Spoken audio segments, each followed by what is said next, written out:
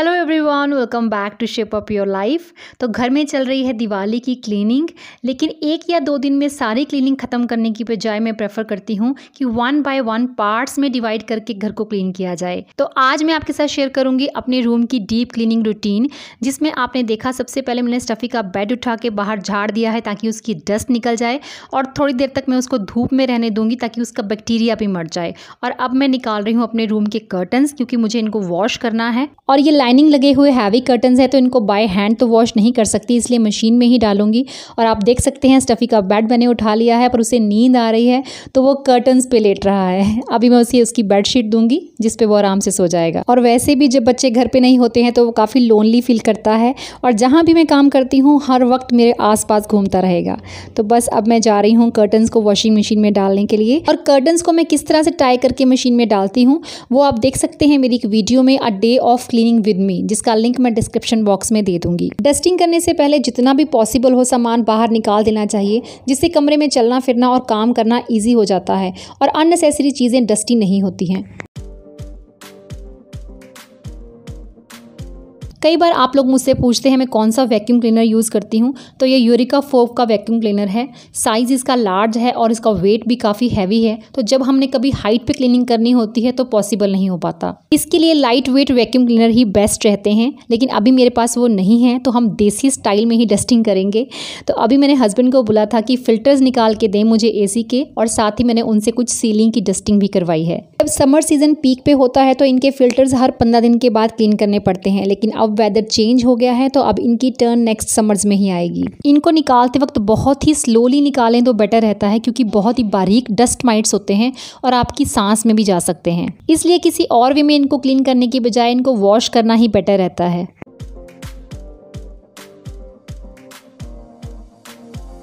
कोई भी डिटर्जेंट या सोप मैंने यूज़ नहीं किया है इनको वॉश करने के लिए, सिंपली इनको टैप के नीचे ही वॉश किया है।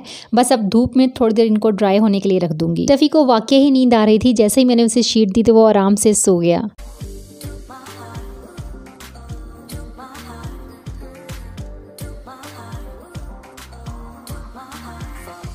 फ़ैन को क्लीन करने के लिए किसी ओल्ड पिलो कवर का यूज़ कर रही हूँ, जिससे कि डस्ट इसके अंदर रह जाएगी, बाहर नहीं गिरेगी। तरह से फैंस को क्लीन करना मुझे काफ़ी ईजी लगता है। तो एक बार उसकी ड्राई डस्टिंग करूँगी और उसके बाद वेट क्लॉथ से इसको क्लीन करूँगी।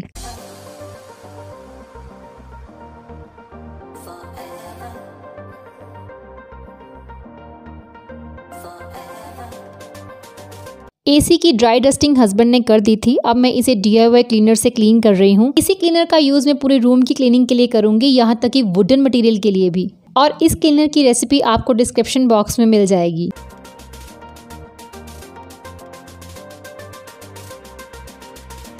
वॉल्स एंड रूफ की प्रॉपर क्लीनिंग तभी होती है जब हम पेंट करवाते हैं, लेकिन पेंट हम एवरी ईयर तो नहीं करवाते हैं। तो यही वे होता है स्पाइडर वेब्स और डस्ट को निकालने का। तो रूम के एक कॉर्नर से लेके दूसरे कॉर्नर तक मैं इसी तरह क्लीनिंग करती हुई जाऊँगी।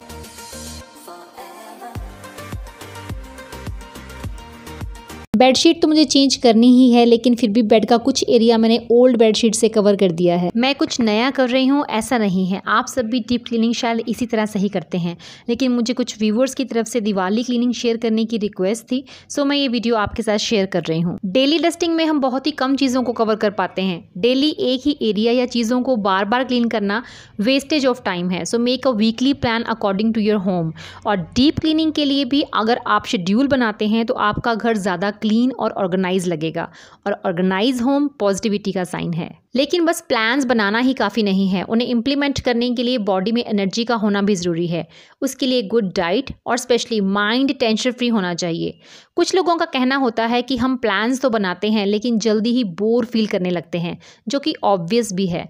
So change is very important loud music और रोटेशन ऑफ़ वर्क मुझे बोरियत से बचाता है। बट जिस दिन मेरा रिलैक्स करने का मन करता है, उस दिन मैं अलावा कुकिंग या डिशेस क्लीन करने के और कुकिंग में भी सिर्फ़ खिचड़ी या पुलाव, इसके अलावा कुछ नहीं करती। इससे नेक्स्ट डे मैं डबल चार्ज होकर काम पे लग जाती हूँ। डेली मैं अपने घर की एक विंडो और डोर क्लीन करती ही हूँ। लेकिन क्योंकि कर्टन निकाले हैं इस रूम के तो आज फिर से इसकी क्लीनिंग कर रही हूँ, उसी डी क्लीनर से। आपके घर की वुडन थिंग्स हमेशा शाइन करती रहें, उसके लिए आप डी पॉलिश भी बना सकते हैं, जिसके लिए आपको वन पार्ट विनेगर लेना है और थ्री पार्ट्स लेना है ऑलिव ऑयल दोनों चीज़ों को अच्छे से मिक्स कर दें। क्लीनिंग करने के बाद सर फेस पे अप्लाई करें। तो आप देखेंगे कि आपका वुडन फर्नीचर कितना शाइन कर रहा है।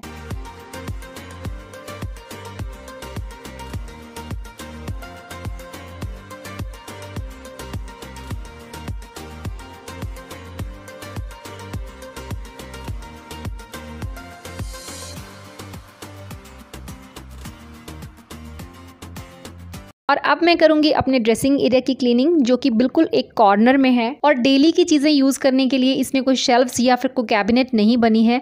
तो इसीलिए मुझे कुछ ऑर्गेनाइजर्स का यूज़ करना पड़ता है। तो सारा सामान हटाने के बाद मैं एक बार इस ड्रेसिंग एरिया को क्लीन करूँगी और उसके बाद सामान को डिक्लेटर करूँगी और ऑर्गेनाइजर्स को भी क्लीन करूँगी। वैसे नॉर्मली मैं एवरी सैटरडे इवनिंग टाइम पे अपने ड्रेसिंग एरिया की क्लीनिंग करती हूँ, लेकिन उतनी डीपली नहीं हो पाती है जितनी मैं आज करूँगी।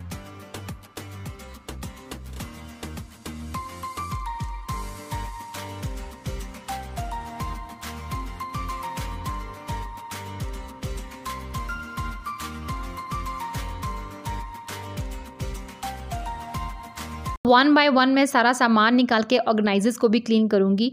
सामान निकालने का फ़ायदा ये होता है कि आपको पता चल जाता है कि कौन सी चीज़ें हैं आपकी जो फालतू की इसमें पड़ी हुई हैं तो उनको आप डिक्लटर कर सकते हैं।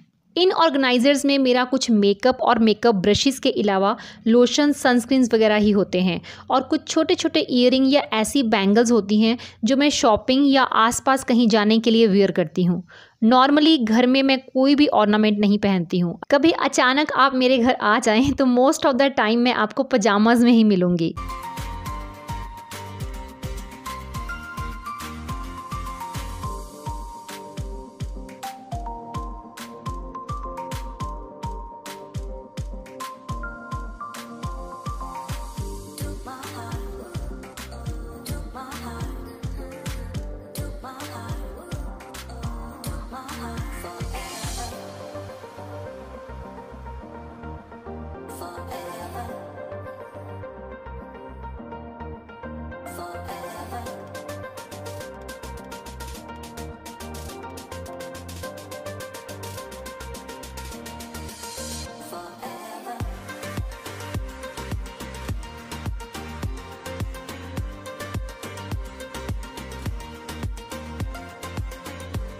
ड्रॉर के लिए मेकअप ऑर्गेनाइज़र मैंने खुद बनाया है। इसके लिए मैंने एक वेस्ट ट्रे का यूज़ किया है, जिसको कवर करके कार्डबोर्ड के डिवाइडर्स लगा दिए हैं। और हर चीज़ को एक अलग कॉलम में रखा है। लेकिन उसके बावजूद आप देख सकते हैं, सामान यहाँ वहाँ रखा जाता है। तो अब हर चीज़ को उठा उठा के मैं एक बार क्लीनिंग कर दूँगी और वापस से सेट कर दूँगी।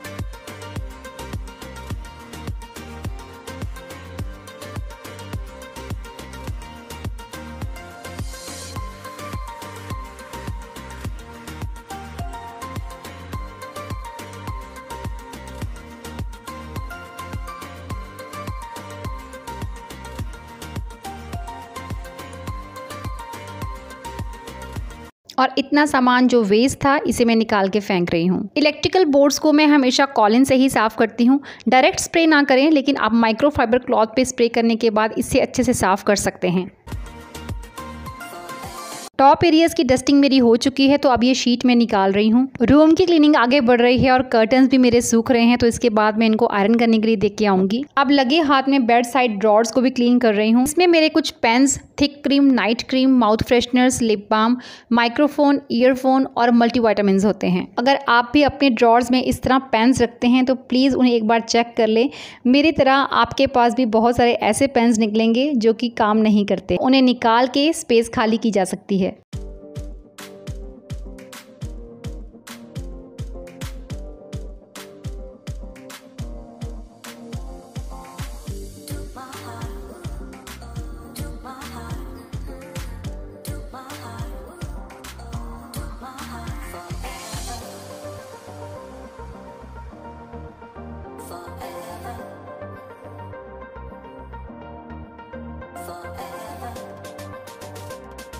और नीचे वाले कैबिनेट में एक बॉक्स रोस्टेड चना और एक डाइजेस्टिव बिस्किट का मैं ज़रूर रखती हूँ, ताकि काम करते करते जब कभी आपको भूख लगे तो आपके पास इन हैंड हेल्दी ऑप्शन हों। इसके अलावा इसमें लैपटॉप चार्जर, मेरी एक डायरी और कुछ बुक्स होती हैं, और इसके अलावा ये है पेट पासबुक, स्टफ़ी की पासबुक है ये, जिसमें इसकी वैक्सीन का रिकॉर्ड है। और कॉइन्स के अलावा ये सारा सामान है जो फेंकने वाला है। क्योंकि जिन चीज़ों को आप यूज़ नहीं करते हैं, उन्हें फेंक देना ही बेटर होता है, चाहे फिर आपका कोई पुराना फ़ोन हो या फिर ईयरफोन इस रूम को क्लीन करने के लिए मुझे चार घंटे आराम से लग गए थे, इसलिए मैंने सुबह ब्रेकफास्ट और लंच बना के ही काम शुरू किया था। ऐसा कोई भी काम शुरू करने से पहले आप ब्रेकफास्ट हैवी कर लें तो बेटर रहेगा। और अगर आप मेरी तरह अर्ली उठते हैं तो ब्रेकफास्ट के बाद एक छोटा सा नैप लेने के बाद भी काम शुरू किया जा सकता है। इससे काम के दौरान आप टायर्ड फील भी नहीं करेंगे और आपको नींद भी नहीं आएगी।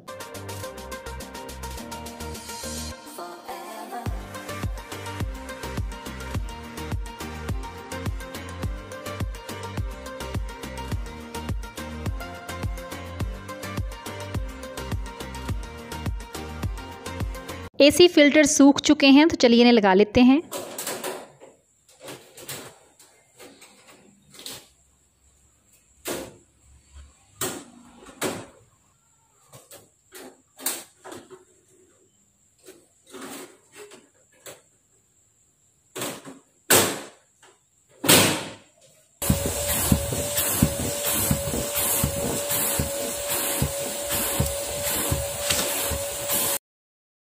अब स्टफ़ी के बेड को भी मैं एक बार वैक्यूम कर रही हूँ, जिससे कि डस्ट और पेट हेयर दोनों निकल जाएँगे।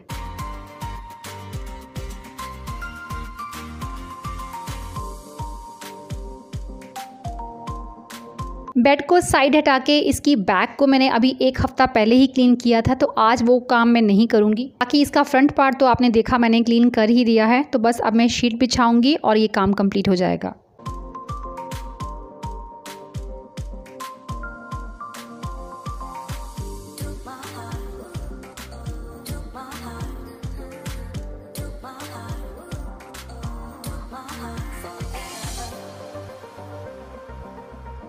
रूम में झाड़ू तो मैं लगा ही चुकी हूँ तो अब मैं लगा रही हूँ पोछा तो वॉल्स रूफ और हर चीज़ के साथ साथ मेरा फ्लोर भी क्लीन हो जाएगा।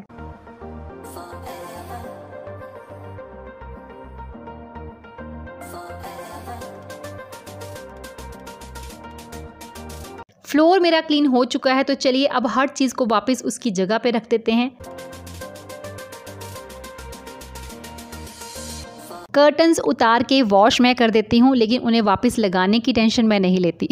उसकी टेंशन लेते हैं मिस्टर उदय प्रताप सिंह और मेरे हस्बैंड हस्बैंड ऑफ़िस से आए और साथ ही मेरे कर्टन्स भी आयरन होके आ गए थे तो मैंने कहा, ठीक है, कपड़े चेंज करने के बाद पहला काम ये कीजिए और उसके बाद हम डिनर करते हैं। ताकि उन्हें भी कुछ रूम क्लीनिंग और कॉन्ट्रीब्यूशन की फीलिंग आए।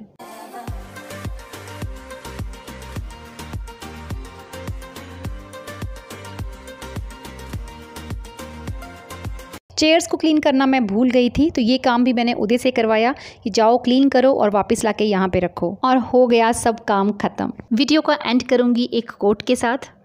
तकदीर बदल जाती है जब ज़िंदगी का हो कोई मकसद, वरना उम्र कट जाती है तकदीर को इल्ज़ाम देते देते see you in the next video till then bye take care and stay healthy